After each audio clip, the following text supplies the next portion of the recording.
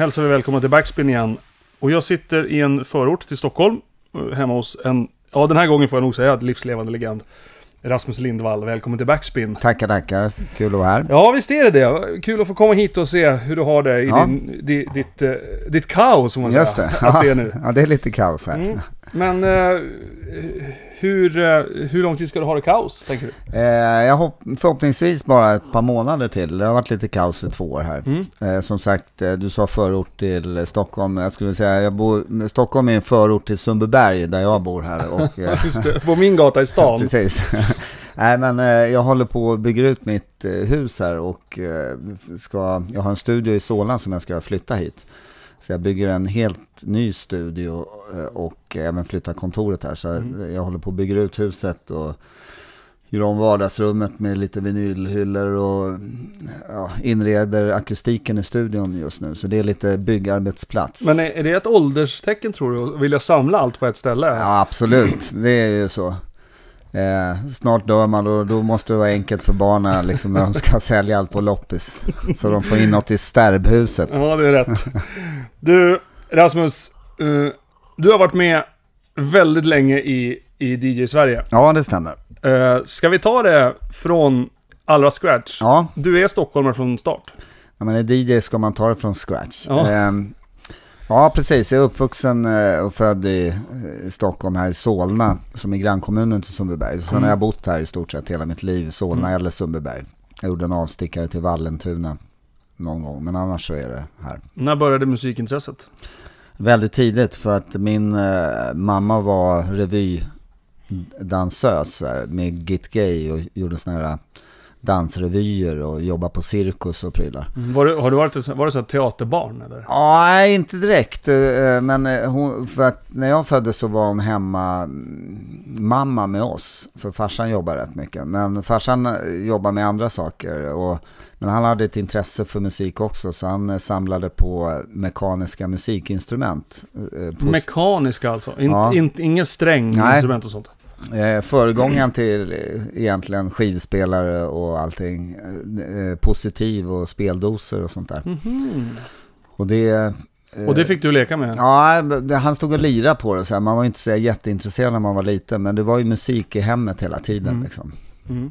Och hur, hur landade, alltså, var det, var det coolt att ha en mamma som var revyartist? När man var... Det, just, jag visste inte det i början. Så här. Man såg lite så här gamla tidningsurklipp och sånt där. Det var på senare år som man satt sig in i det där. Mm.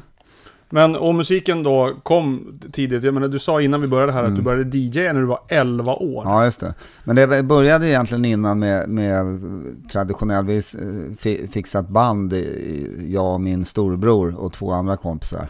Som hette Flash och så började vi lira. Bra namn då. Ja, problemet var att jag var så liten så när jag skulle göra en skylt i slöjden så stavade jag det fel för jag visste inte hur det stavades. Så, det blev, så egentligen heter vi Flack. Okej. Finns Nej. skylten kvar? Nej, den är borta tyvärr. Jag tror jag, ja, jag skämdes över den. Men eh, så vi lirade i källaren och på så lite eh, skolgrejer och sånt där. Och sen så tog jag pianolektioner när jag var väldigt liten och så började jag spela trummor och Men var det punk eller var det pop du spelade? det var ju egentligen eh, någon dålig form av rock liksom. Mm. Vi var ingen, man var inte så duktig då så här, men När var det här? Vad, vad, fanns det för influenser då? Ja, det var Sweet och Kiss egentligen. Eh, Ja, Sweet och Slade var det förresten Mm. först. Glamrocken. Ja, Och sen kom Kiss. Sen kom Kiss Mm, senare. Man försökte bara så gott vi kunde. Men det var så det började med musiken i alla fall. Mm. Och så sjöng jag i Stockholms gosskör också. Oj, Det är väl det seri- mest seriösa jag har gjort. men då får man ändå säga att du hade mus- alltså musiken i blodet. Absolut. Och hur kommer man in på eh, dansmusik och eh, funk och hela den här biten då? Ursäkta. Jo, eh, vi hade eh, en fritidsgård nere i, som låg i gamla Råsunda-stadion som är riven nu. Men där hade de så här ungdomsdisco och sånt där. Och där gick jag ofta och, eh, i tidig ålder och kollade. Och där, där fanns det en, en DJ som spelade och då stod jag och kollade och tyckte det där var coolt. Och sen så, då var det ju, det var ju ett sätt att upptäcka musik också. Det fanns ju inte så mycket på radio och tv då liksom. Nej. Så jag hängde där och sådär. Och sen med, med åren så ville jag börja spela där själv. Så jag började köpa lite skivor och, och sen jobbade jag alla sommarlov på... Så här, hade man 11 veckor sommarlov jobbade jag 9 för att spara ihop till skivspelare och sådana grejer. Mm. Men det var redan då att nu, jag ska liksom, det här ska jag göra. Tekniken vill jag ha och Ja, äga liksom, skivor och, och, och material. precis. För att vi, vi började, jag och en kompis egentligen, vi hade en jukebox i källaren som farsan hade och sen så en vanlig sån här en radio, så vi började göra här radioshower och mixa mellan jukeboxen och, och den här äh, hemmastereon liksom och, och spela in på kassett och sådär. Så vi experimenterade fram oss, men man förstod ju direkt att man behövde bättre material. Mm.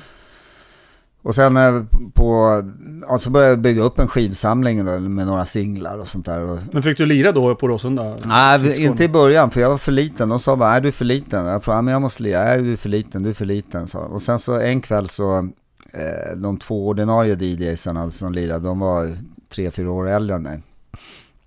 Eh, så var jag där en kvart innan det skulle öppna och då var det panik för att de hade blivit sjuka. Och då sa eh, Ja, fan vi har ingen DJ. Ja, men jag kan lira. Nej, du är för liten. Ja, ja, Okej, vi har ingen val. Spring hem och hämta skivorna. Så jag lubbade hem, hämtade skivorna och sen så började jag spela. Men konkar du då någon back Ja, sådär, det, det var typ så två resväskor eller någonting, eller mindre resväskor. Och sen så lirade jag där på knattediskot och, och alla tyckte det var så jävla bra liksom. Men då kunde du det? Då hade du liksom hängt där så mycket så att du visste hur du skulle bemästra tekniken? Ja, typ. Och jag hade tränat lite hemma då sådär. Ja, Just det, för du hade köpt Ja, då grejer. hade jag ja. fått tag på ja, så här, re- remdrivna skivspelare. Mm. Och så fick jag lira och då tyckte de att eh, fan det här var ju så jävla bra så att du får lira här. Vi sparkar de andra liksom. Ja, det var så pass? Ja, Och då var du 11 bast? ja då var jag 12. El- 12. 11 då hade jag, jag hade lirat på så här två, tre skoldanser och Mm. sådana där grejer. Men då vad, blev du resident på, på Ja, då, då, fritidsgården? är jag- då? då är jag resident där varje torsdag. Ja. Hur länge pågick det här? Det pågick ganska länge för att det var en ganska populär grej här i Solna. Men du gick ju i skolan samtidigt ju. Ja, just det. Till och med i lå eller mellanstadiet. Ja. Eh, så, men jag körde det, så, men då började jag spela på lite sådana här fester och sånt där också. Så fort det var skoldans så fick jag lira och Mm. även eh, om det var privatfester. Men redan då hade jag ju in, in, eh, ställt in mig på att försöka lira på en riktig klubb, alltså nattklubb med rättigheter och lite coolare anläggning och sådana där grejer. Eh, och, men det kom först när jag var 15, vilket är i och för sig tidigt. Ja, det är tidigt. Tre år innan man ens får Ja. komma in på en klubb. Och det var ju en liknande historia. Då jobbade jag i en videoaffär där. Det var, gick en tjej som var ett par år äldre än mig som hyrde filmer. Hon satt i kassan där. Så jag sa, fan säg till dem att jag kommer att lira. Jag är, jag är grym liksom. Och så ringde hon någon kväll så här ett halvår senare. Ja, vi har ingen DJ, han har blivit sjuk. Kom med dina resväskor. Ja, kom med flakmoppe då istället som jag hade faktiskt. Och så upp med skivorna och lira den kvällen. Och det var två gentlemän som hette eh, Hamir, nej, Hamid och Samir hette de. Som ägde stället. Som ägde stället, Ja. som inte kunde så mycket svenska. Eh, men han sa efter spelningen, du spelar här varje onsdag, fredag, lördag. Okej. Du Ja. bara, ja tack. Ja, okej. Ja, och det var, då var, det var hemma. Ja, då var jag hemma. Men det var ju en stor lycka liksom Mm. att kunna få spela. Men var du gymna- då var du, gick du gymnasiet? Ja, eh, precis. I gymnasiet och jag tror till och med i nian när jag fick det där. Men eh, det var lite knepigt hemma så här. Morsan och man jobbar onsdagar till tre och så där. Skulle gå i plugget.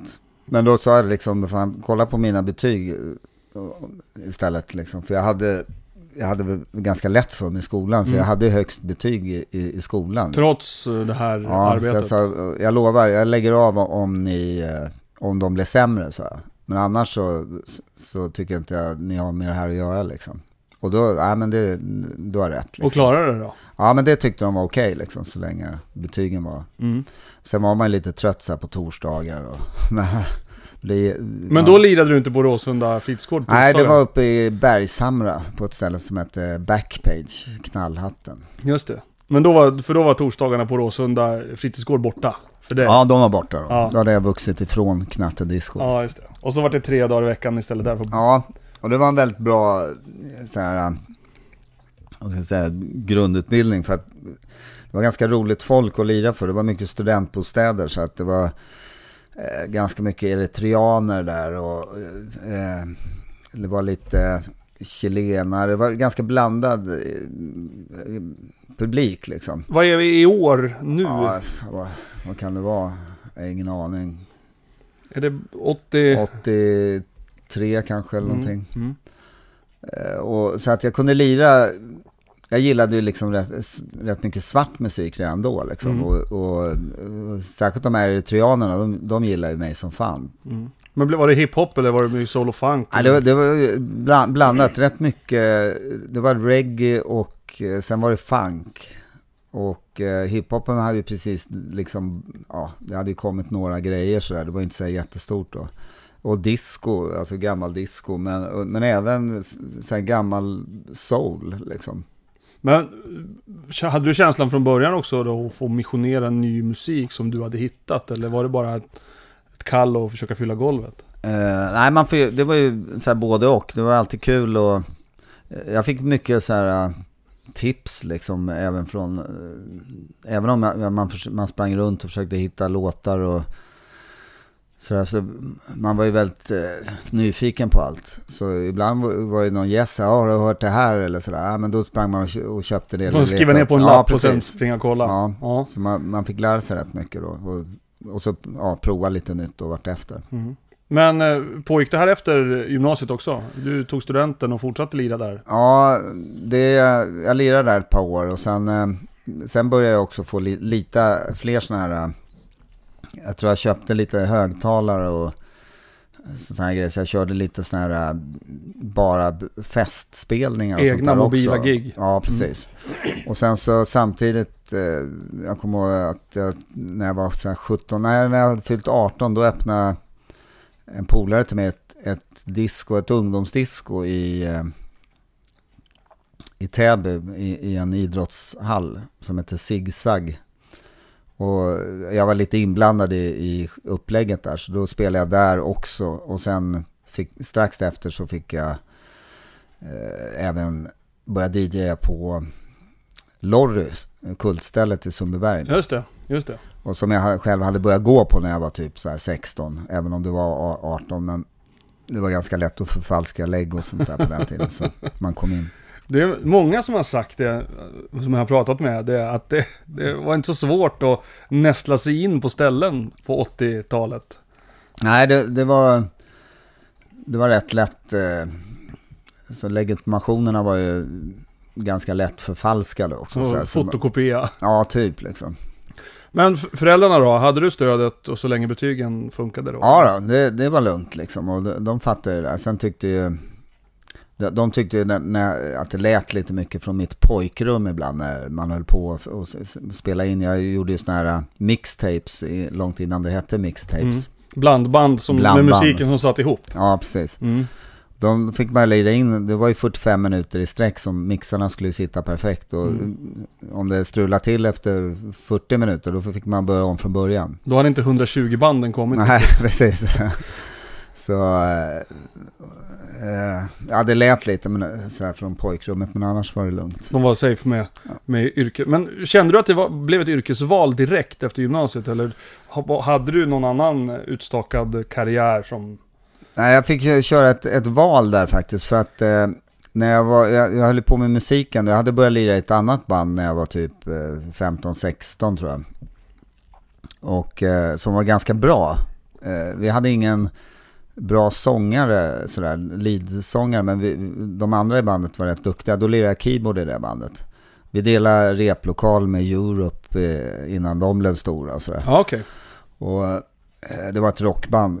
Och då, så jag köpte lite syntar och sådana här grejer. Men hur länge hö- höll du på med pianolektionerna och sånt? Nej, det var bara ett, ett par år och sådär. Men, men jag ville skriva musik och så jag hyrde en studio när jag var typ eh, 17. Och så gjorde jag två låtar. Och så tänkte jag, när jag gjort det så eh, säljer jag alla syntar. Och så köper jag en bil så jag kan åka runt och DJa. För det var, jag fick välja antingen eller. Ja. Men det, det var liksom så här, sen lägger jag ner låtskrivandet och så börjar jag DJa istället. Och då måste jag ha en bil. Men vad var det för låtar då? Vad blev det? fan, vilken, vad var det för bil? nej, nej. Ja, det var två låtar som... Eh, eh, jag, jag spelade allting själv. Jag hyrde en studio en, en helg. Och så, då fick jag liksom, det gick inte att programmera någonting innan så att jag, jag hade låtarna i huvudet. Så började jag bara, ah, vi börjar med trummorna, så lirade jag trummorna och sen så la jag basen och sen så la jag gitarren och så la jag syntarna och sen ja, lite annat. Och sen eh, sjöng jag själv på, och lite grann. Men sen hade jag en tjej som hade varit med i vårt band som var rätt duktig på att sjunga som fick med. Och det var två rocklåt, en svensk poplåt och en rocklåt. Mm. Har du lyssnat på dem idag någon gång? Ja, jag hittade faktiskt några gamla band här. Så, eh, så jag försökte... Är det något att jobba vidare med? Ja, det finns någon sån här typ av idé. Det är ju ganska låg kvalitet på produktionen och man fick ju ta så här andra tagningen fick alltid duga även om det inte var bra. Liksom. För det fanns inte tid? Nej, fanns aldrig tid. Det var dyrt liksom. Men du, skulle du säga att musikaliteten har varit viktig för ditt eh, fortsatta DJ, eh, din fortsatta DJ-karriär? Alltså det har ju gått lite mm. parallellt men... Ja, det är faktiskt åt, åt båda hållen också. Mm. För att senare när man börjar skriva låtar igen så eh, har ju DJ-andet och konsumtionen av skivor varit väldigt betydande liksom för det här med, med, att stå och plöja igenom en massa låtar varje, i stort sett varje dag och, och, och, försöka hitta vad blir hits och hur den här låten är uppbyggd. Allt mm. det där har ju bidragit till en viss kunskap i hur mm. ett verk är uppbyggt liksom. Mm. Men, eh, hoppa lite framåt nu, vi hoppar tillbaka snart. Men det dök upp en fråga i mitt huvud som Alltså, som du är, man får ju säga att du tillhört Sverige-eliten på DJ-sidan. Har du känt att du haft ett musikaliskt ansvar gentemot liksom, du har ju spelat för mm. alla mm. egentligen. Eller har du bara känt att nu kör vi min grej eller? Ja, det, det är en sån här DJ-fråga som har varit eh, det, i, i, vissa perioder ga, eh, ganska liksom så infekterat. För jag vet eh, på 80-talet och 90-talet var det rätt mycket DJ som eh, Alltså man nästan, eh, man, när man pratar eh, med andra DJs efter en spelning så, så, fan, jag hörde den killen, han stod och lirade den låten. Men så fick man reda på att han hade lirat den. Då var det någon dålig låt som man egentligen inte borde spela. Men så hade han lirat den själv. Liksom. Det var så här, eh, jag försökte, så alla var lite olika. Jag, jag kände verkligen det ansvaret liksom att försöka eh, så här läxa upp eller liksom lära folk och kolla det här är kul, det här är nytt. Men mm. inte på bekostnad av att man får sparken Nej. eller att man liksom tömmer golvet, man, tömmer golvet eller tömmer stället liksom. Eh, som på, när jag tog över Lorry, då var det, det var ett rockställe. Mm. Jag visste att det går inte bara att gå in här och börja lira liksom funk, soul och disco och så här. Man kan smyga lite? Ja, man får börja lira typ så här 5% första kvällen och sen så öka och öka. Sen efter ett år, då var, då var det liksom så här, Då var det ett funkställe? Ja, typ tre, fyra rocklåtar kvar liksom. Men, men, men, det får ske i lugn och ro liksom. Mm. Men det är ju intressant ändå att man, du har haft den makten ändå redan, redan då kan man säga. Ja, men, men sen också där är alla lite, jag vet många DJs som var DJ i ett, två år som var så här, jag ska bara spela det jag mm. gillar och sådär. De, de är ju inte DJs längre, de är en ett eller två år. Nej. Men sen så är, är det, finns det ju andra som bara är som en jukebox och, och liksom lirar det som eh, typ som önskas och sådär och in, inte tar ansvar. Så jag har försökt köra en gyllene medelväg lite grann. Jag, jag tycker liksom man är ändå där för att folk ska ha kul och en bra kväll. Och sen, sen kan det ju vara så som på den tiden att man, man kommer till en stad som, det fanns ju inte de mediekanalerna som vi har idag. Och, och man kommer till en stad utanför Stockholm så då fick man ju förstå att de, de har inte hört det här som, som vi lirar inne i Stockholm. Och mm. de, de skivorna fick man ju ligga lite lågt med liksom. För det fanns ju inte den radiospridningen Nej, heller på den tiden. Precis. Alls. Inte alls. och det är ja. svårt att få tag på överhuvudtaget för dem liksom. Mm. Man, man, fick leta efter 12-tums singlar i, i obskyra små affärer. Ja, verkligen. Men vad blev det för bil då? Det blev en eh, Honda Prelude heter den. Okej. Okay. det, var, det var liksom turnébussen egentligen? Ja, precis. Mm. Ja, det var skönt för att jag hade kört med min flakmoppe och morsan hade skjutsat mig rätt mycket och mycket taxi och sådana grejer. Mm. Så att jag tog mitt körkort när jag var 17 år och 354 och en halv dag. Fick man det? Ja, Tydligen. Ja. ja, det var min 18-årsdag liksom. Jag var född på kvällen men Aha. jag körde upp första uppkörningstiden på morgonen. Så Ja, att okej. jag hann få det innan jag... Innan, innan du biologiskt var Precis, 18? ja. Okej. Men Lorry då i, i Sundbyberg. eh, Och där eh, förändrade du världen förstås. Nej men det, det var en rätt rolig tid för att eh, tjejer hade... Eh, Eh, jag tycker, alltså tjejer hade ju bättre koll på bra musik tyckte jag eh, eh, än killar var fortfarande rätt mycket inne i det här, liksom lite rocksvängen och sånt där. Men så började det komma och, och de här tjejerna stod liksom på dansgolvet hela kvällarna ibland och, och, och hade liksom en bättre känsla för rytm, rytmisk musik liksom. Och, men samtidigt var det, det bra, för tjejer drog ju killar till stället liksom, så ägarna var nöjda. Då kunde man börja lira lite mer sådär. Och sen var det en period där när, det var, när Dagge lirade på, alltså Dennis Pop lirade på Vavel. Eh, sen Robban Watts eh, började liksom, min senare då kompanjon, eh, han lirade runt lite. Jag hörde att han lirade rätt bra musik och Dennis Pop, Dagge lirar bra funk och det fanns några andra. Monica var i Västerås sen och det, det var många som eh, började lite grann och då kunde man även som med, med Dagge byta så här. "Ja, Men du kör Lorry och så kör du. Vi var ett gäng DJ som by, bytte runt lite sådär. S- s- Skulle du säga att det berikade både er och ställena? Ja, faktiskt. Och det, det var en ganska rolig period. Det som kunde vara svårt var ju att vi, vissa låtar var, var ju svåra att få tag på överhuvudtaget. Mm. Eh, Alltså, Men det var inte så att man bytte skivor så här, du den här måste du ha när du lirar där eller? nej, det var snarare så här tvärtom. Eh, En del klistrar på såna, om man hittar något bra, klistrar på en white label så att ingen annan skulle veta vad det var. Okej. för, för att man ville vara, ha ensam rätt Ja, då? typ. Jaha, okej. det, var, det var ju kanske lite snålt. men- Ja, faktiskt. Men eh, hur såg, hur såg DJ-svängen ut då? då? Var, var det en krets och en klick som, som alla kände alla? Ja, i, I Stockholm var det väl hy hyggligt. Så sen började ju, om man säger i slutet av 80-talet, eh, då var jag och när jag och Robban började jobba, då var det vi och sen så några som hängde med oss, så vi bytte och sen var det, hade ju, startade ju Swemix då också. Mm. Med, med Dagge och René och Emil och Stene, Stonebridge och, och Järpen och, och några, Robert Broman, Mops Below. Och, de- och de var ett gäng som började liksom och, som en DJ-klubb liksom i, och, och byta lite jobb och bokningar och sånt där. Mm.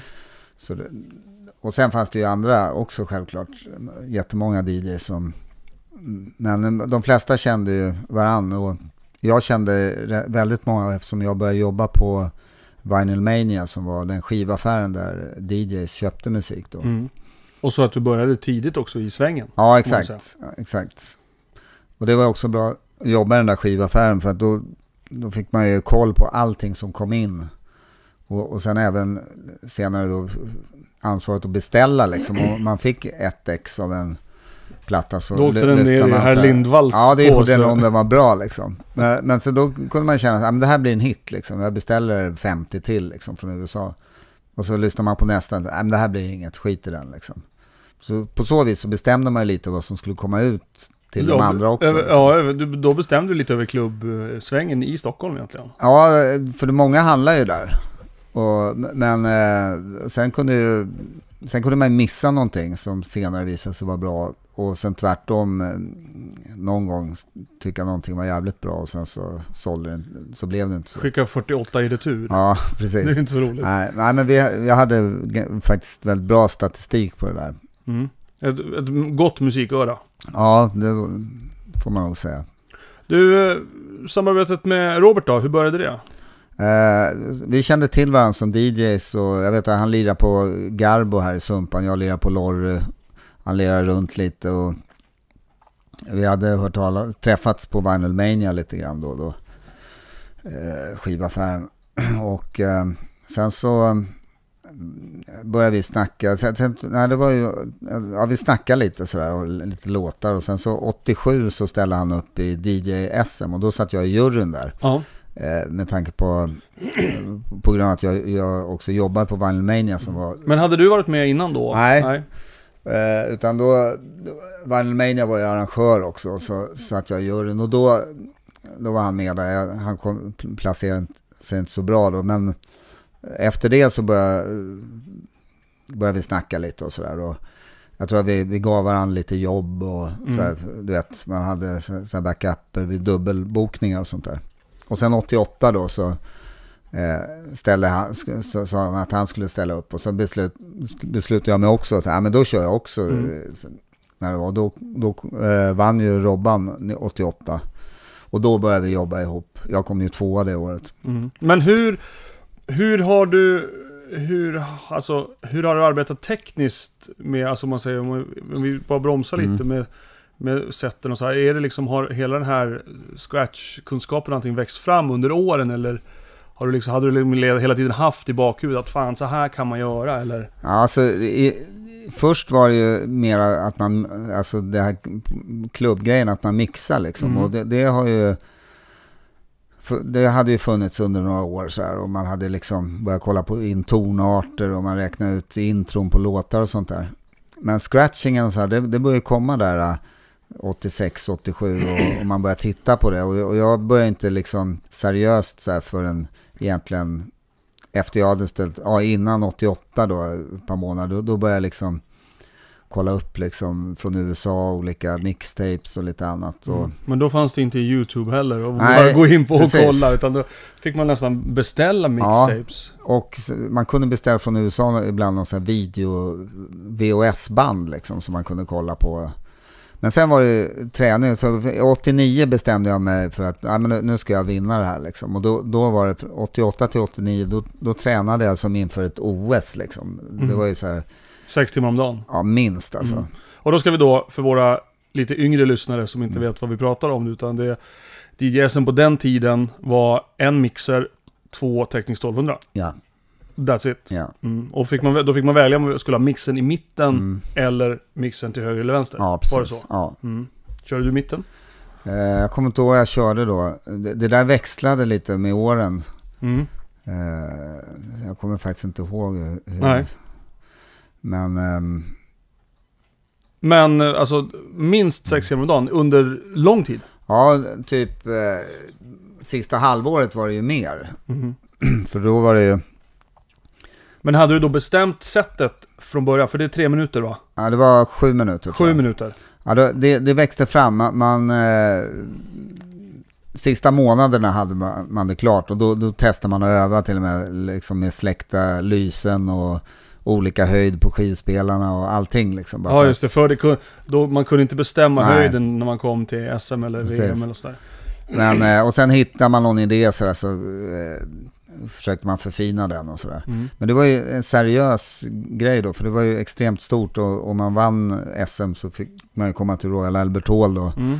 Eller först deltävlingarna, 30 länder i London och sen så de 10 bästa i världen gick ju vidare till Royal Albert Hall. Och där fick du vara? Ja. Ja, för du vann 89. Precis. Du tokvann 89. Ja.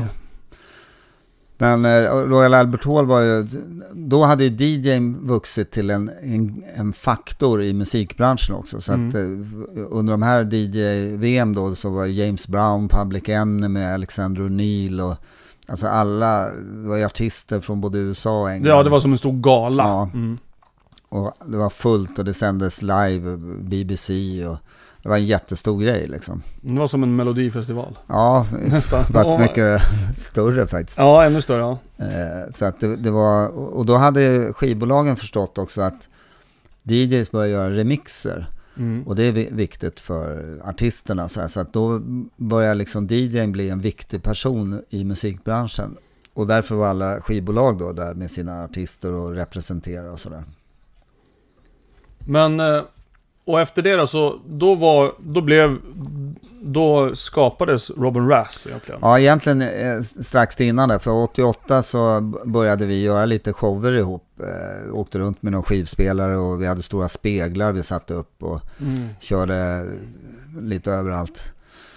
Eh, och, och sen kom det in en, kom, vi fick en lapp på Vinyl Mania var en kille som hade sökt DJ som ville göra musik. Och då hade vi börjat snacka om det där. För vi hade sett, jag tror det var Cold Cut i England och lite Mm. andra DJs i USA som hade börjat göra låtar. Så Men hade, hade Robert också skrivit saker innan? Eller? Nej, men han hade också hållit på så här, li- lira lite instrument och inom band och sådär. Mm. Så ni hade musikaliteten båda två? Mm. Och sen hade vi samma eh, hyggligt lika musiksmak och, och tänk liksom. mm. Så sa han, vad fan det där kan vi också göra.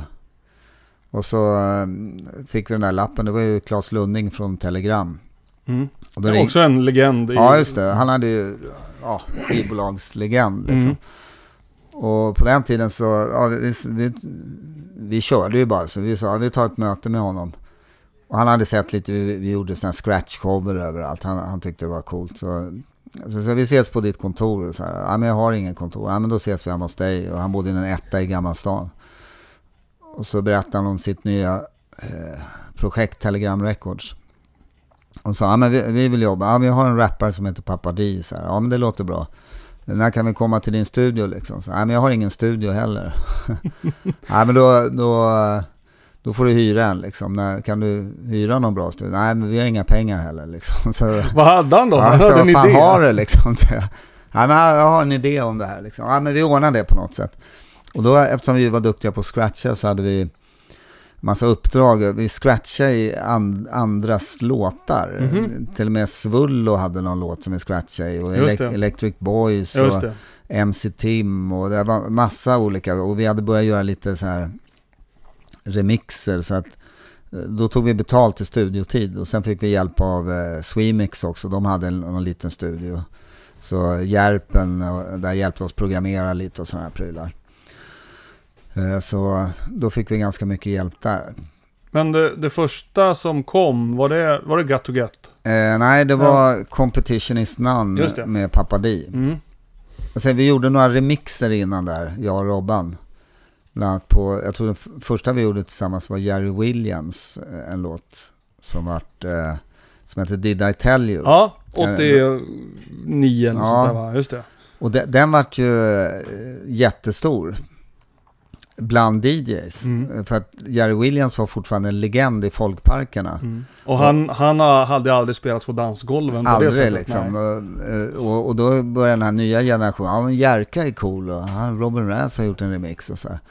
Så att han fick ett uppsving där och han var väldigt tacksam över det liksom. Och jag tror till och med han skrev om det i sin bok där sen att, att han fick en ny publik liksom. Mm.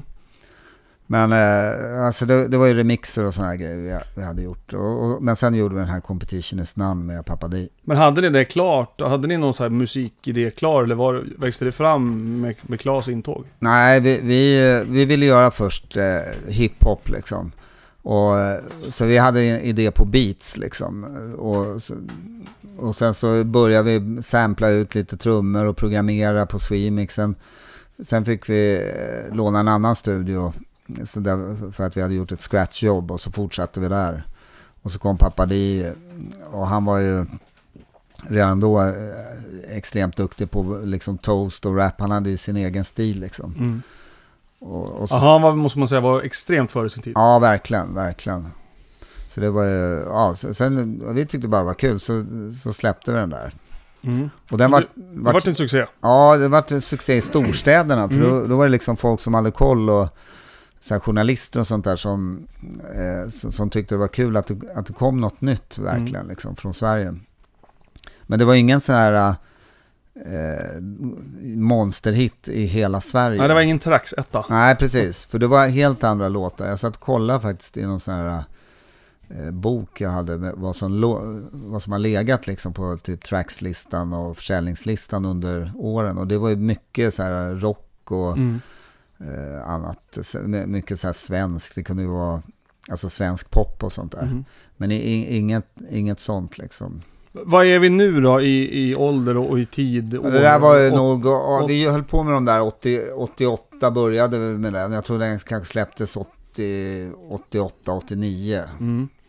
Men var ni, då var ni kungar liksom? Då, då känner ni att det här är top of the world? Ja, vi, vi trodde det i alla fall. Liksom. Ja. Vi, vi utgick från det. Vi var Mm. rätt kaxiga på den tiden och, och Mm. bara körde på.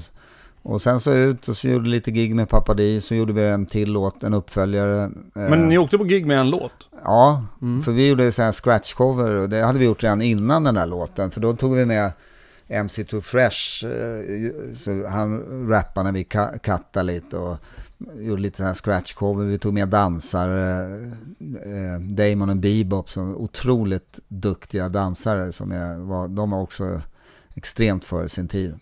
Så det var liksom ingen direkt struktur i de där showerna och sådär, men eh, det var, det var ändå rätt uppskattat. Det skulle låta och det skulle synas. Ja, exakt. Och så var det då, kröna det hela med, med Papa D som kom Ja. och körde. exakt. Men, och sen Microphone Poet va? Ja, just det, Mm. precis.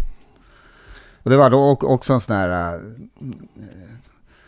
storstadshit eller vad man skrev. Och sen så fanns det någon sån här söndags... Ulo Masing tror jag det var som lirade på Radio Stockholm. Han, han plockade upp det där och vi fick vara med. Och, eh, det var lite svårt eh, på de stora kanalerna, men det var några som började liksom. Och även närradio fanns ju ganska mycket. De kunde ju plocka upp. Så, så, här, så att det, det började sprida sig lite grann då. Mm. Men, eh, och var bodde du någonstans vid den här tiden? I, Eh, då bodde jag i Solna och i Sundbyberg. Eller just vid den här tiden bodde jag faktiskt typ eh, ovanför Lorry. Och så hade jag hyrt en källarlokal lite längre bort där jag hade min anläggning och Mhm. skivspelare och sånt där. men här måste du ändå ha känt att det började snurra ganska fort allting. Att det nu börjar du kanske börjar komma in lite pengar och liksom hela... Ja, vi var, det var ju mycket, alltså vi, vi jobbade rätt mycket. Så här, antingen så lirar man på kvällarna eller höll på att prodda på dagar eller förberedde för Mm. gig. Det, det var, allting gick i ett liksom. Mm. Det fanns inte så mycket tid för eftertanke och reflektion. Nej, det, utan det var ju bara rakt, rakt framåt som, Mm. som gällde. Har, det, har det funnits tid för sånt efter, senare? Alltså någonstans? Ja, absolut. Eh, Men eh, samtidigt så, det, det, det var rätt då. För att eh, vi åkte ju lite så här till, vi var i London en del och New York och, och kollade. När, när vi eh, var i New York då, på, när hiphopen började ko- komma, det var ju liksom, det var inte så många som visste vad rap och hiphop var i Sverige. Alltså det, var, det fanns ju Mm. en del, men alltså Mm. det var för gemene man sådär. Så vi åkte ju dit, vi hade ju fortfarande den här inställningen, fan vi, vi drar, det, vi, det är ett cool eh, jam i, i, i Harlem och på den tiden skulle man inte vara där liksom. Nej. Och, särskilt inte om man var vit liksom. Så vi var ju typ, vi gled ju runt där och tyckte att, och de, de sa det efteråt, fan ni, ni är galna liksom. Anledningen att ni inte är, skjutna än är för att och om ni är här är ni så galna så folk blir rädda för er liksom. Ja, det var så pass Ja, alltså. men vi lärde känna lite amerikanska rappare då. Eh, och, eh, Men ni hade inte kunskapen då om det på något sätt? Att ni bara körde på? nej, vi, vi tyckte liksom ändå att vi var... Vi, vi var inte liksom inblandade i någon typ av schism eller rasism eller Nej. sådana där grejer. Vi, vi var ju fans av de bra rapparna och vi, vi var ju där och supportade dem. Och liksom det där med deras historia med slaveri och grejer, det tyckte liksom vi svenskar tyckte det är ju självklart idiotiskt liksom. Mm. Och det rent historiskt, men det var länge sedan nu. Let's be friends och sådär. Och de flesta alltså i, i musikbranschen var ju så, så det var ju lugnt liksom. Men de i Harlem såg inte skillnad Nej, kanske? men det var lite hangarounds så här, på, på vissa hiphop-jam där det blev lite så här frostigt ibland liksom. Men eh, just då så tyckte vi, det var viktigt att vara där ändå liksom. Men så- såg ni någon, någon sån här stor som, eh, som ni såg väldigt tidigt? Eh, rappare? Ja. Ja. alltså vi var ju med just eh, Ice-T, han var runt, han var liksom så här på, överallt, han hade en liten posse så här. Och sen så eh, Tilla Rock lärde vi känna. Och han var här rätt tidigt på någon Sverige-grej också. Och jag tror Robban var, fick DJ med honom någon kväll där också. Eh, så ha, vi var runt med honom, så DJ Aladdin. Sen var det ett ställe som ett, en hiphopklubb som vi var mycket på. Där var eh, nästan alla kända rappare. Så vi, någon kväll, ja, där då hörde man namechecking från DJn. Så här, we got Run DMC in the house. Och så här, liksom nästan. Ja, we got DJ Aladdin in the house. Och så här. Sånt där förekommer väl nästan aldrig idag? Även- Inte i Sverige eller någonstans? Nej. Att alla, alla samlas på ett ställe? Nej, det var, men det var jäkligt kul alltså. Ja, det måste ha varit en, en jävligt häftig känsla med att... eh, Och att ha upplevt det. Ja, I en tid, som du sa, som inte var kanske helt självklar att Nej. vara där. Eh, vad var vi i tid nu i Sverige? Vi är på Microphone Poet. Men sen kom en världshit nästan. Ja, eh, då hade vi gjort beatsen och grunden till eh, Got to Get. Eh, och, och, och vi kände så här, pappa det funkar ju bra, men eh, den var lite, liksom lite för poppig för hans stil. Och då hade vi hört lite kvinnliga rappare från USA. Så vi sa eftersom den här är ganska liksom lättsam och lite uptempo så här, och så var vi ute efter en tjej då. Så ja, då blev det ju Leila K. Mm. Som... Eh, Hur träffades ni? ja, det är... Ja, det finns egentligen två stories på, om det där. Beroende på vem som frågar. Ja, precis. Den story vi har kört mest med är ju att, eh, som i och för sig, båda är ju sanna. Vi bara fråga om vilken som kom först. Men eh, hon ställde upp i någon rap-SM och där vi satt i juryn där. Och jag tror hon kom tvåa eller trea. Och, och då eh, hade vi den här låten klar. Men sen, eh, men jag hade faktiskt fått eh, en, kassett från en annan rappare från Göteborg. Där hon var med tre låtar. Och Hon var med i 20 sekunder, 10 sekunder på sista låten. Och, och gjorde en liten toast där. Så att genom honom fick jag sen tag på henne. Och, och då, då hade vi fått låna, det var ju extremt dyrt eh, med studios och sådär. Så att vi, man, man fick ju bara, man fick verkligen, det var inte fråga ens om, om en rökpaus eller gå och Ja, käka. ja, utan det var bara ja, köra. Så, så vi hade den här låten. Ja, vad kostar studiotid då? Ja, vi fick ju liksom, vi byta det mot jobb och sånt där liksom. Men Mm. annars så, det, jag, jag vet inte i, i kronor, men det var väldigt dyrt och man hade ju inte så mycket pengar då så vi fick ju verkligen stressa på. Så hon kom ju upp med tåget då och sen sa vi typ hej och så här nu kör vi liksom.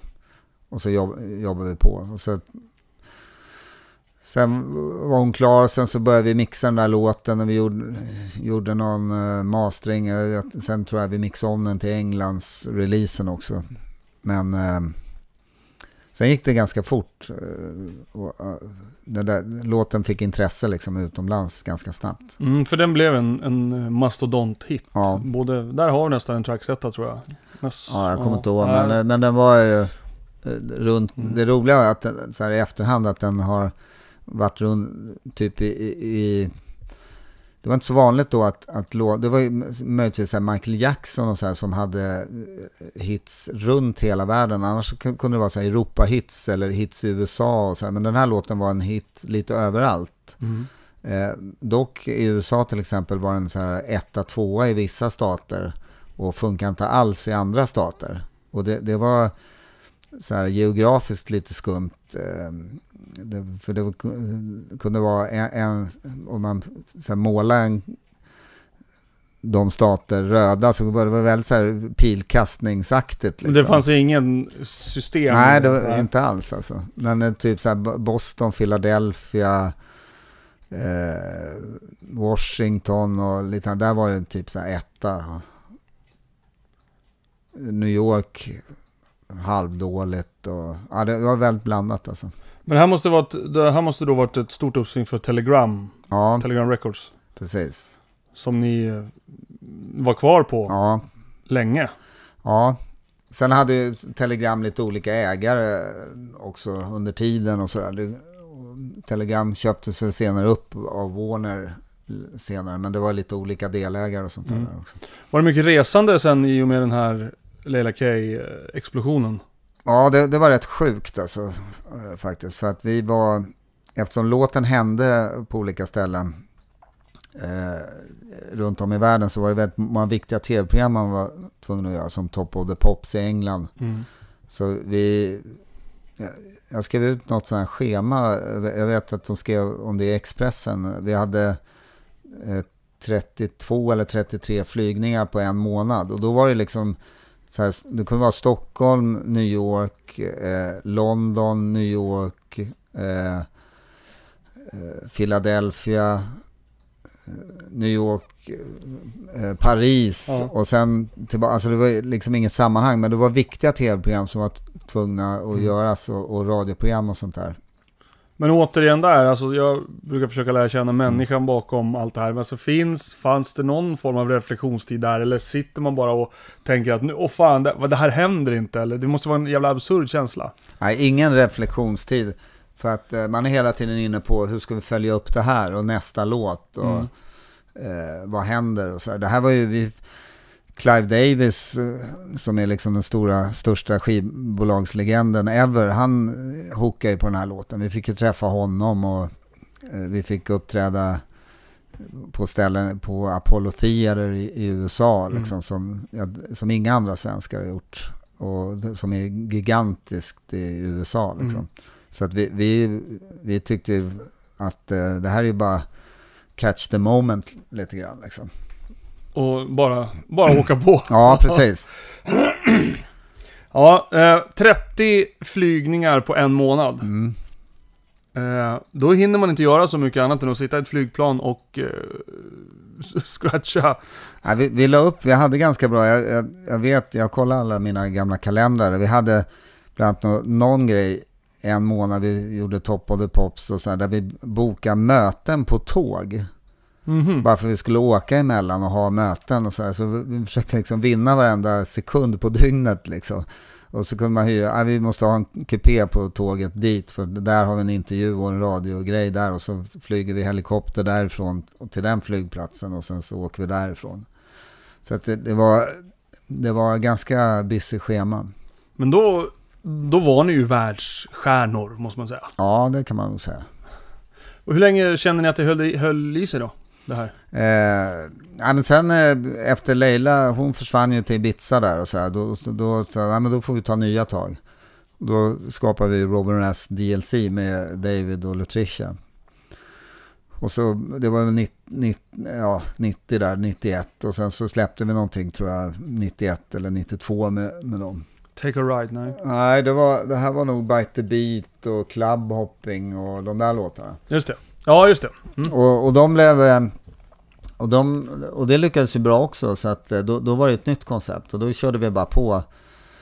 Eh, vi, det började i Holland med någon låt och sen spreds det till Tyskland. Men hade ni ett extremt försprång då kände ni när ni... En ny sak, men alltså... Nu gör Robin Rast något nytt. Då är det Mm. enklare att kasta ut det i världen och folk bara plockar upp det. Ja, det var det ju faktiskt. För att det var ju på ett sätt... Eh, skivbolagen hade, man hade liksom bevisat sig så att säga. Och sen så eh, hade man någon typ av flow. Och eh, man, man, man kände liksom andra DJs runt om i världen och, och radio-DJs, de kände till namnet. Och även det här eh, att Robban och jag var med i DJ-VM 88-89 var viktigt för att eh, det, det var en så pass stor grej liksom. Så att då, lyssnade de en extra gång på det liksom. Ja, då visste man att ni inte var något skräp. Ja, som- precis. Ja, men var, man fick chansen att, att bli lyssnad på i alla fall. Liksom. Mm. Men... Turnerat mycket, men turnerat, vad ska du säga, är roligast då? Turnera med artist eller turnera som DJ? Ja, det, det där är en grej som jag höll på brottades. Jag har ju extremt bra minne som tur är. Så att, jag satt- Goda betyg i skolan. Ja, men, men jag funderade på det och jag kom när jag höll på att skriva ner det här i en kommande bok som Just det, det ska vi snart. med. Vi ska snart hoppa in på den. Men då kom jag fram till att, eh, att det var liksom i olika perioder. Men när man höll på och åkte runt som artist, då saknar man DJ-andet väldigt mycket. Och det hände att jag och Robban, eller bara jag, så här, man tog någon DJ-spelning bara liksom on the fly sådär. där. men sen när man DJar saknar man liksom turnera. Eh, vi har ju turnerat med liksom fulla band, så här 10 pers och sånt där. Mm. Det, det, det är också en viss känsla som man... Jag såg något klipp, jag tror det var från Gröna Lund eller något sånt där. Mm. Då studsade du omkring med en gitarr på magen. Ja, just det. Och lirar. Mm. Det är inte så mycket DJ-coolhet i det. Precis, så det har varit olika koncept. Så att, eh, jag kom fram till att man, när man gör det ena saknar man det andra. Liksom. Men, Mm. men en sak var säker, man, eh, hela tiden så ville man ju inte släppa den här DJ-prylen. Mm. Man, man köpte ju skivor och var man en stå, hade man en, en timme över kanske man var eh, hand, skiv, lokala skivaffären. Eller, För musikintressets skull. Ja, alltså för precis, att man ville precis. hålla sig up to date. ja. Och även kunna DJa liksom någon gång så här. Mm. När, Det finns ju inget som slår ett fullt dansgolv. Nej, det, det, är, det är en viss känsla. Och sen börjar ju klubbarna bli rätt bra, så här, även alltså runt om i hela Europa. Mm. Så det hände ju rätt ofta faktiskt att när vi var ute och gjorde promotion och, och sådär, och kanske körde två, tre låtar med, med antingen Leila eller med, med Diflex och Lutricia. Så kä- fick vi feeling så bara gick vi upp i DJ-båset och körde en timme. Lyfte bort DJn som Ja, stod där och sa, nu kör vi. Ja, ja, vi hade faktiskt ett sånt där, ett, ett sånt grepp i ansiktet, att liksom vi tog DJn i ansiktet så här och flyttade bort honom. Okej. Det är mer skämtsamt, men det var liksom lite så här... Eh, det var, alla tyckte det var kul liksom, Mm. så det var lugnt. Men ni har varit på mycket DJ-turnéer också, eller hur? Som bara som DJ-duo Ja, har ni varit. ja precis. Och om vi studsar lite i historien. Nu, eh, jag vet att du DJar en del. Mm. Mycket, alltså, inte, du står inte på nattklubb och skallar. Utan mera event, eh, jockey och sådär. Ja, det, det är rätt blandat faktiskt. Jag tycker Mm. fortfarande det är kul, så att det kan bli en, en, houseklubb för 20-åringar en kväll, sen ett eh, företagsevent. För 60-åringar. Ja, ja, men Mm. det, det är väldigt blandat liksom. Mm. Var, Robin Razz, var står de idag? Vi eh, kör, eh, vi har kört de sista två, tre åren mer och mer ihop. Mm. Eh, och gör det är också samma, vi var på någon nattklubb för två veckor sedan och körde. Och sen så håller vi på lite och, och sätter ihop en, eh, en ny pryl. Mm. Och eh, vi ska skriva lite låtar och sånt där faktiskt när Mm. Min nya studio är klar. Har låtskrivandet alltid varit eh, ett flow eller har det gått i omgångar? Ja, det, det är mera så här äh, de praktiska grejerna som nu när jag har byggt en ny studio så de har ju inte gjort så mycket på liksom två år. Nej. Men, men det, och det gör ingenting för man, man samlar på sig idéer i huvudet och, och sen är, är det vissa perioder när man verkligen intensivt bara sitter i en studio. Och det är rätt, rätt skönt att dela upp det sådär. För Mm. att eh, när, när man jobbar med, med en låt eh, eller en produktion så då kan man sitta i åtta timmar och så händer det inte så mycket. Men den nionde timmen händer allt. Så det går liksom inte att stämpla ut efter åtta timmar. Det är väl det som kallas det kreativa flödet? va? Ja, exakt. Så då, då, då får man, eh, man går in i en sån här låtskrivarperiod, i varje fall så här bo, bocka av några dagar. Nej men nu, nu, nu kör jag liksom. För då, då vill man att det ska gå rätt fort också. Men, men när ni skrev till exempel då i början på 90-talet när ni var som allra, allra störst med clubhopping och allt Mm. det här. Eh, tänkte ni dansgolv från ton 1? Ja, vi hade någon, någon konstig idé där att man skulle försöka, alltså vi, vi hade så här dansgolv DJ-grejen var ju viktig. Vi hade ju kunnat göra det enklare för oss och, och skita i de här låtarna, downtempo-låtarna som Bite the Beat och, jag menar, och, och som Take a Ride som i och för sig blev en, en hit liksom. Det, eh, det, det, den, den gången vi riktigt vek oss, det var när vi gjorde Incommand, när euron var så, som störst. För då, då var det bara, typ bara det som spelades under ett Mm. år. Då sa jag, men nu, nu fan måste hyran in. Alltså, nu, nu får vi verkligen... Men vi har försökt hålla den här, om man lyssnar på eh, de här, ett album som vi släppte då, då, då var det några R&B funklåtar och sen så några house-låtar. Det är alltid så här rötterna till båda liksom. Eh, så att det har varit både och. eh, Beatsen har alltid varit viktigt och, och dansgolvet, men ändå försöka få till liksom låtar. Mm. Jag ser, eller jag har förstått att du har ju en familj också. Ja, hur, har, hur har du lyckats med det? Ja, nej men det, eh, det har gått bra. Min äldsta dotter, hon föddes ju typ eh, eh, åt, åt, 88 när vi hade vårt... Eh, När det var som värst? komma, när, en kväll när det var i november när det var snöstorm i, Stockholm, den värsta på, sen mannaminne liksom. Och, och, eh, och vi hade vårt viktigaste gig på en klubb i Stockholm med Pappa Di och skulle, alla var där. Och jag, jag kommer ihåg, jag och Robban var på Södersjukhuset och jag frågade läkarna, fan kan ni Skynda på kan, lite. kan dra på det här lite, vi har soundcheck snart liksom. Och de vart skitsura. Men, eh, eh, och sen var jag ute och reste, men eh, jag har haft bra eh, mammor till mina barn som har, de har ju förstått att liksom, så när jag har varit hemma då har man ju tagit tid. Men ibland Mm. har det varit mycket resande och sådär. Mhm. Men nu, är det lite, nu har man lite bättre eh, förut. Vi, vi slutade, jag och Robban, vi, efter att ha turnerat väldigt mycket så gick vi in en period när vi skrev mycket åt andra och producerade åt andra. Mm. Och det var ju mycket för att kunna vara hemma lite mer liksom. Så, Mm. så, så då har det blivit lite lättare. Men eh, har du varit en bra pappa då ändå tycker du? Ja, det, får, det får fråga mina barn. Ja. Men de, de tycker det fall. Ja, men då så. Eh, Ja, Men oftast det, är man det kanske är att man har, man har, man har rest, rest mycket och då, då blir det mycket flygplatser och där finns det mycket presenter att köpa till sina barn. Ja, så det kan ju vara Det något sånt som ligger bakom. för det är ofta när man frågar artister om det de Mm. ångrar mest, det är att man skulle varit med med sina barn.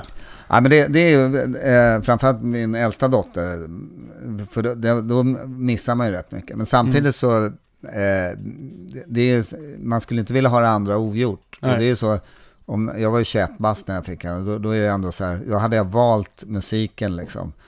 Och någonstans så, man är ju man, jägare och, och familjeförsörjare, så man, man får ju ta det ansvaret också liksom. Mm. Mm.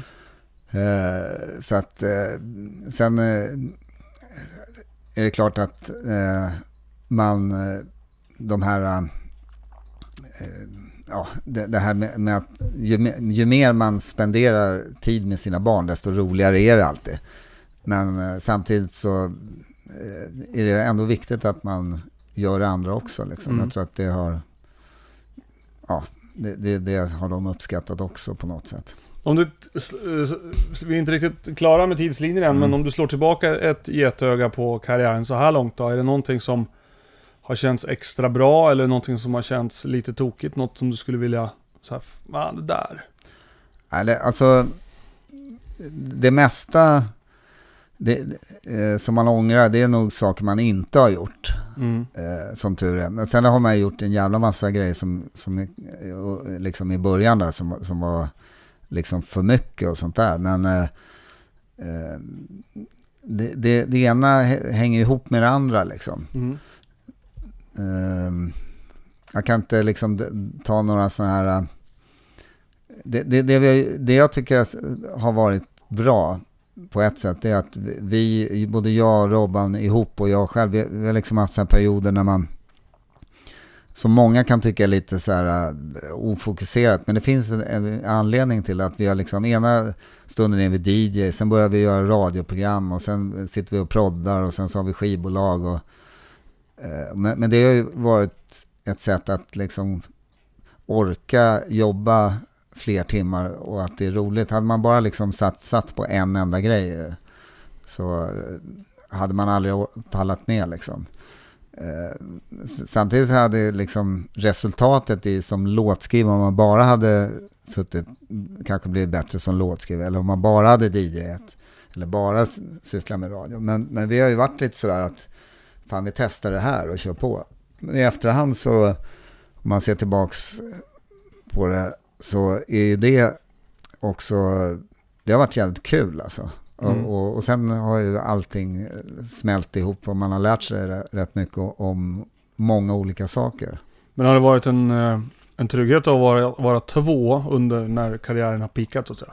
Ja, det, det var ju en, ett väldigt, för vi, det, har allt, det har varit mycket strul. Vi hade det där strul med Leila och vi hade strul med skivbolag och med andra grejer. Då är det alltid lättare att man är två liksom. Mm. Och vi har väl, eh, ja, det, det, har alltid varit så här, det har varit, varit vissa så kriser och man hanterar, men då, är, då har vi liksom, ja, man har kunnat liksom på något vis lyft, lyft fram och slut, det har slutat med att man garvar och säger, nej men fan vi kör, vi, vi kan göra det här eller liksom. Ja, är det inte den attityden lite som har genomsyrat Robin Rass, eh, åtminstone offentligt och utåt så här, Mm. men när man har sett er i, på, i ZTV vet jag, ni hade Mm. program och så. Det är två roliga snubbar, så bara boom, vi kör. Ja, exakt. Ja, mycket sånt där. För det, det fanns också en, en grej i artist-Sverige när vi bröt igen som var väldigt... Eh, det fanns oskrivna regler liksom. Till att börja med så, vi började med att säga så här, men vi, vi är två DJs som skriver låtar och vi, vi är artister. Eh, Tidningar eller radio eller skivbolag har ju ingenting. För att det inte var tillräckligt pretentiöst. Nej, och sen idag finns det Avi- Avicii, Swedish House Mafia eller eh, massa d- DJ och idag är det ju naturligt Mm. liksom. Men vi fick ju liksom, banka in där i folk. Så, men det ska vara så här och det, det funkar så här. Och dra det lasset. Det, det tog ju många år. Mm. Men- För ni var först? Ja, det fanns ju några, någon i England och sådär, men i Ja, Sverige. men i Sverige ja. Alltså med, med själva konceptet. Mm. Och, det, och det, det var ju kul, men eh, lite jobbigt i början. Men sen det här med att, att göra grejer spontant, det var också att som artist skulle man då vara så här, eh, helst, eh, man fick inte vara med i reklam till exempel, för då var man, Det var inte så fint. det var inte cred och Nej. man fick inte vara med i vissa tidningar för det var inte cred och man skulle gärna gå så här första maj-tåget för det kanske var cred. Eller, det var liksom rätt mycket så oskrivna regler och, Mm. och vi sa fan, och vi, vissa artister var så här rädda, de- man går inte ut där och man svarar. Men var det det politiska klimatet som Ja, det var, det var allt. över det det, det var allt, man, man skulle ha en image och sådär liksom. Men sa, fan vi har ju stått på de här dansgolven sedan vi var små och liksom eh, nära folk.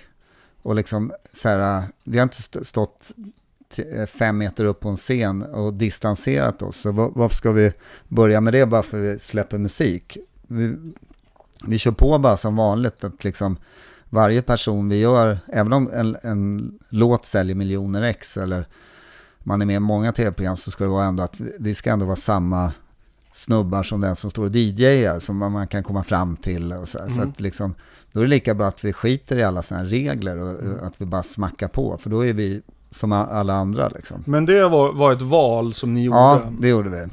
Men hur, eh, hur kunde ni... Sen har vi för dålig karaktär för att vä- välja det andra också. Okej. Ja, men det, det måste ju ändå vara roligt att vara två lekfarbröder i, i det, det klimatet. Ja, det var, det var kul liksom.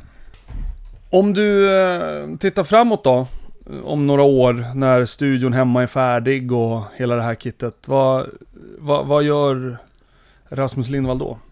Eh, ungefär samma sak, att, att man bestämmer sig lite vartefter men ändå har några olika planer. Liksom man, man slänger ut en lite krokar här och där, men det blir ungefär samma grej. Jag kommer eh, skriva lite låtar och göra lite produktioner, eh, fortsätta DJa. Eh, och eh, jag och Robban kommer göra några grejer och sen eh, göra lite försöka göra lite musikaliska, musikaliska samarbeten med folk eh, som man har velat göra så här rätt länge. Men som, som det inte har blivit tid eller tillfälle för. Liksom. Tittar du åt några experimentiska håll sådär med mus- Ja. musikmässigt eller? Det, det får bli lite som det blir. Ja. Liksom sådär. Men eh, framförallt göra lite låtar. Jag märkte det, jag, för ett par år sedan så skrev jag rätt mycket så library music. Det är alltså musik man kan använda tv, film, radio och det är ett, ett här internationellt bibliotek. Liksom. Och, och då, I början där fick, fick jag skriva liksom, jag frågade vad behövs? Jag till och med uppfann liksom olika typer av musikstilar. Det här är sånt, det är totalt okred, ingen vet att det är jag eller så här, men då är det, det kan ju vara en här japansk tv-program eller från Sydkorea tv och radio. Men, men när man gjorde de här låtarna så var det rätt kul för att eh, det var inga gränser och sånt där. Så att eh, då fick man experimentera rätt mycket. Men sen, eh, så li, li, lite sånt kommer det bli. Men även försöka göra lite låtar för marknaden självklart. Så hyran kan betalas. Ja, precis. Ja, det, det är i och för sig, nu med, med, musikbranschen är ju ganska dålig liksom med tanke på ja, sen streamingen och sådär Mm. kom in. Det, det var ju bättre för, som låtskrivare när det Mm. var CD-skivor till exempel. Ja, jag skulle nästan jag ska komma in på det lite Mm. kort för att eh, eh, som DJ eh, och i ditt fall då gått från vinyl, CD, USB, streaming. Mm. Alltså, hu- hur ställer du dig till den utvecklingen? Alltså, man får ju... Det, det finns både för och nackdelar. Liksom det man kan konstatera att, eh, om vi börjar då från vinylen, det var ju att en, en vinylskiva som eh, produkt är ju väldigt sexig och, och vacker. Och, och den, den, ett album, man hade liksom det här omslaget med texter och bilder och sådär. Eh, Sen kom ju CDn och den var ju liksom en liten plastbit sådär och var inte alls li lika eh, skön sådär. Men det var lättare att bära liksom. Det var ju fördelen då. Och sen eh, kom ju filerna liksom på en hårddisk eller USB och sådär. Då, då var ju ännu mer anonymt sådär liksom. Eh, sen finns det ju för och nackdelar med allt. Och det, liksom själva eh, skivbolagen hängde ju inte med där med internet när det kom. Utan de, de ville ju hålla kvar med CD-skivor och sånt mm. där. Då, då, blev det väldigt mycket illegal nedladdning och sånt där. Så de var ju efter och sen så kom ju de legala vägarna och ladda ner och sen nu streaming och sådär. Så det, det börjar ju gå åt ett bättre håll. Samtidigt som vinylförsäljning till exempel ökar uppåt 100% varje år nu sen 2002, 2003 i stort sett. Så att, och det är inte bara gamla gubbar som jag som sitter och är nostalgiska utan det har kommit en ny generation som tycker det är coolt. Mm. Jag, jag brukar jämföra lite med, alltså som är typ 20-25. Så om man tittar i ett hem här här till exempel så har jag ett så klassiskt vitrinskåp. Ja, det. Stor, och så mm. står det lite glas och tallrikar och såna grejer. Det är en sån grej man har ärvt av här, sina föräldrar och som ärvde av sitt, för det var ju något... Finporslinet. Finporslin på, i början av 1900-talet liksom, eller, eller längre bak än så. Så det skulle finnas i ett hem. Men det är egentligen värdelöst liksom. Ja, det är så. Det, det, det tillhör ju folkhemmet. Ja, precis. Och sen kom det här med bokhyllor med lite böcker som man inte läser. Men, men nu, alltså en vinylspelare och lite vinylskivor, det är ju en sån här möbel som också fyller en funktion mm. som många börjar uppskatta. Och som är snygg. Som är snygg också. Men när du spelar idag, vad, hur, vad använder du för teknik? Ja, allt från eh, vinylspelningar händer då och då när folk tycker det är kul eh, när man plockar fram, men, men det är inte så ofta. Så att, eh, sen kör jag ibland på CDs och USB och ibland med dator då med eh, eh, vad heter programmet nu igen? Serato kanske? Ja, Serato. Serato. Serato. Mm. Och, eh, och så med controller eller med, jag har alla system liksom. Men det mm. beror lite på vad det är för spelning också. Mm. Men du har också Pioneer-kittet stora med CD och ja, precis. stor mixer? Ja, Ja, det, det finns ju... Det finns ibland... Eh, det får inte bli heller att eh, man kommer med en liten controller och en dator och, och står och ser ut som man jobbar på ett kontor liksom. Eh, och sen... Ja, det, det beror helt på vad det är för typ av spelning. Liksom. Mm. Jag tycker det är kul att variera det där lite. Den här, när ni hanterade den här framgången som var, mm. hur gjorde ni för att hålla er själva på jorden utan att du var inne på det att ni liksom gick er egen väg och mm. Alltså, ni sket lite i, i etablissemanget, gjorde er egen grej, men man måste ändå på något sätt ha någon form av val för att hålla sig på jorden och inte bli...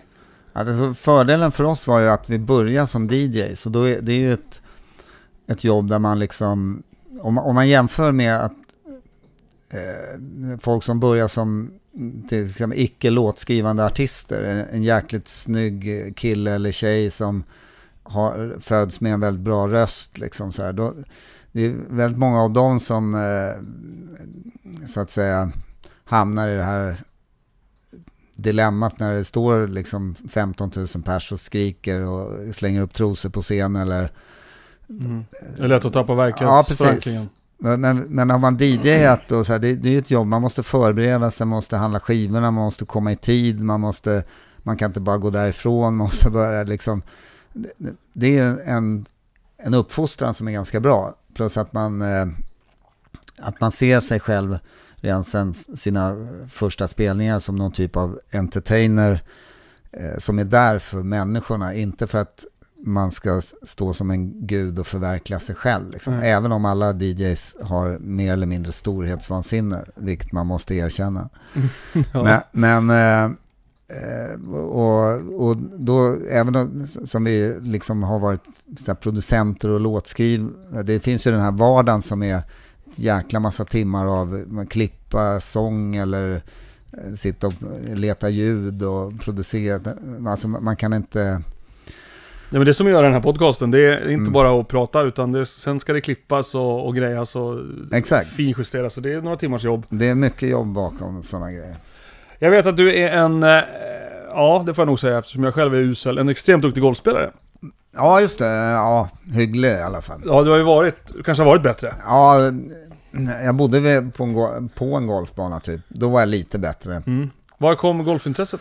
Var det en avkopplingshistoria? Nej, det var det inte. Det var min brors. Jag började med att jag trackade min storebrorsa för att han spelar golf. Eh, typ nästan eh, retade honom liksom.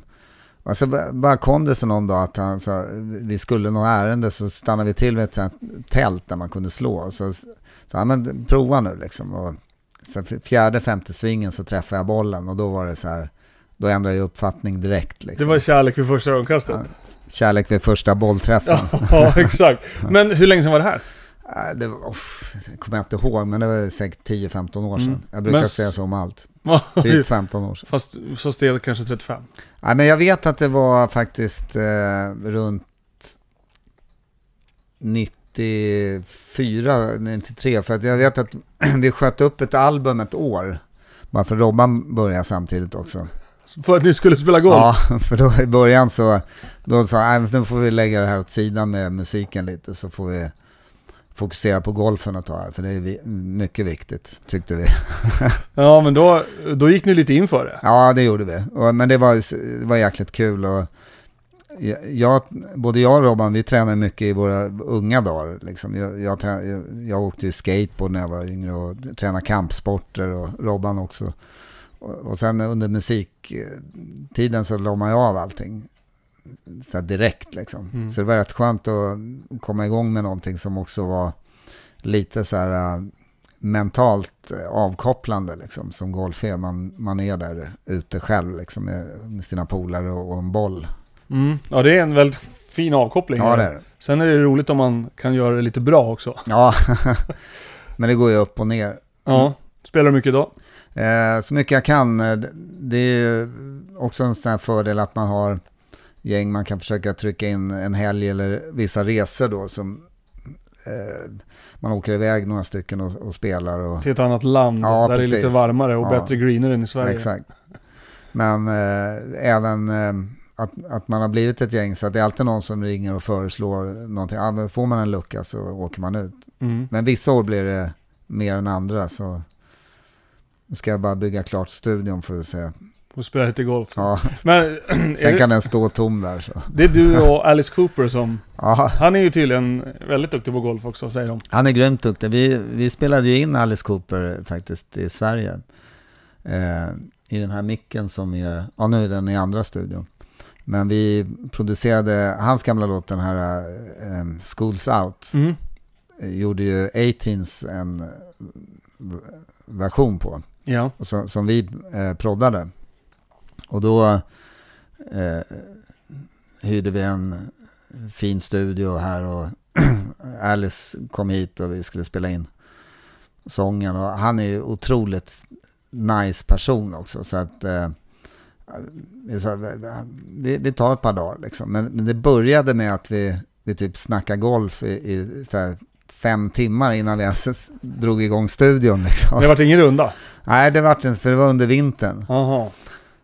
Eh, och så då, då, sen började man lite orolig, fan, ska vi få det här gjort liksom? Han satte ju typ allting på första tagningarna, så sen fortsatte vi bara snacka golf och tog med videos och kollade DVD och allt.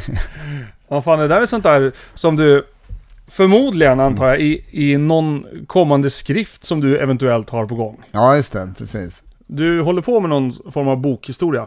Ja, jag började skriva en bok eh, som heter DJ, som han, handlar om, eh, ja, egentligen DJ-andet, fast jag ser ur, ur mitt perspektiv, det är rätt mycket eh, roliga stories, men också knyter an till viss eh, utveckling i teknik och hur klubbar har utvecklats och utrustning och allting. Fast, eh, och, och sen framförallt sy ihop det där att DJs blev producenter och DJs kom in på musik och sånt där. Så eh, nu har jag mitt studiobygge som har försenat det hela. eh, Men när det är klart ska jag fortsätta När har vi tänkt på release? eh, nästa år tror jag. 2017. 17. Mm. Har du förlaget färdigt eller släpper du? Jag, jag, har, ja, jag har ett som absolut vill ge ut den. Så. Ja, men det, det som är viktigt är ju också att dokumentera en yrkesgrupp som är eh, hyggligt stor, men som eh, jag hade ju turen med tanke på då boken att, att, fö, att födas under en period när jag lärde känna de allra första DJs som började innan mig. Jag pratar mycket med dem och eh, vissa känner jag fortfarande så här och, och, och ser liksom hur dansbanden i, i folkparkerna byttes ut mot DJs ibland och sådär. Och att man fortfarande är aktiv och lirar på de hetaste klubbarna. Och eh, då är det kul att skriva ner liksom de, de decennierna. Och, men framförallt så är boken är ju inte sådär, det ska inte vara, det, det, det ska vara en ro, ro, rolig bok också. Det är Mm. rätt mycket så här äh, stories, man, är, man får ju vara med om en hel del liksom. Ja, så det blir också ett, en, en, ett tecknande av lite samtidshistoria. Ja, precis. Under. Du, du berättade det lite före här, att det kanske kommer någon annons, eh, så planksteken kostar 29 spänn. Ja, exakt. Det är lite sådana där grejer som man, man, man tittar tillbaka och Mm. tycker, ja fan så var det då. Liksom, vilken typ av musik som, som lirades och hur vissa låtar kom till eller blev hits. Och sen in, ja, internet kom in och Mm. så det, det Ja, den ser vi verkligen fram emot. Den Ja. ska vi läsa högt för barnen. ja, Lite som godnattsaga, precis. så de får det i blodet. Ja. Rasmus, om du skulle skicka med någonting till nya DJs som vill ta sig fram och vidare, vad skulle du skicka med? Eh, alltså, det är väl eh, eh, framförallt att eh, det, det finns ju en skatt av eh, oupptäckt musik för nya DJs eftersom jag har ju, ja du ser ju min skivsamling där, där är typ halva och sen Mm. jag hittar ju fortfarande grejer Det måste vara uppåt en, ja det är 10 000 plattor Ja, kommer det nog bli. Jag vet inte, minst. hur man- men, och, och det finns alltid grejer att upptäcka bakåt i tiden också. Och jag sitter ju fortfarande och liksom ly- lyssnar igenom flera timmar eh, i veckan, alltså det nya som kommer. Men eh, det finns mycket bra bakåt också och allt går igen. Eh, det andra är väl eh, kanske att, eh, att man, eh, ja, vad ska man säga, stay off the drugs, kids. Nej, men eh, att, att man är någon form av entertainer, liksom, underhållare och försöka göra ett, ett, ett bra jobb varje kväll. Liksom. Mm. Jag, jag är inte, jag är sällan nervös liksom och, och eftersom jag, jag börjar så tidigt så jag, jag vet inte om det är, man säger Sveriges historia så är det få om någon som har gjort så många spelningar som jag har gjort eftersom jag jobbat väldigt mycket hela tiden. Har du, har du någon räkning? Nej, jag har inte det. Men eh, jag ska sätta mig med det när boken blir klar och göra något överslag. Men jag är liksom aldrig nervös inför en sp- spelning. Men däremot finns det en känsla att eh, inför varje spelning fortfarande liksom att fan, tänk om inte det här blir riktigt så bra som jag vill. Alltså man har en, eh, en så seriös eh, liksom inställning till varje spelning att eh, en oro över att det inte ska gå bra. Liksom. Mm. Sen går det alltid bra. Men det, det försvinner inte ändå. Liksom. Och det är bra att ha det där fokuset. Liksom. Mm. På vilken typ av spelning trivs du bäst då? När du får, när du får härja fritt? Eh, mindre, mindre klubbar eh, där man står precis vid, eh, alltså båset är typ i dansgolvet. Liksom. Hellre det än stora arenor där man står på en scen högt upp och så är det flera tusen pers Mm. och det ekar och sådär. Utan mindre så här 300-400 pers eller 200. Spelandes? Alltså, tight. Och sen så musikmässigt så eh, det spelar ingen roll. Är är det en houseklubb så finns det har tillräckligt mycket geniala house-låtar så jag älskar det. Och är det en funkklubb eh, eller ja, hiphop, R&B så ja, det, det, det är Eh, det är både och faktiskt. Mm. Men eh, tight ljud och, och en liten klubb, det är det, det, är det najsaste. Mhm. Du Rasmus, eh, tack så jättemycket för att jag fick komma hit och hälsa på och se ditt bygge och tack för att du var med i Backspin. Tack för att få vara med och tack för att du sprider, eh, sprider lite DJ-historia. Absolut. Tack. Tack.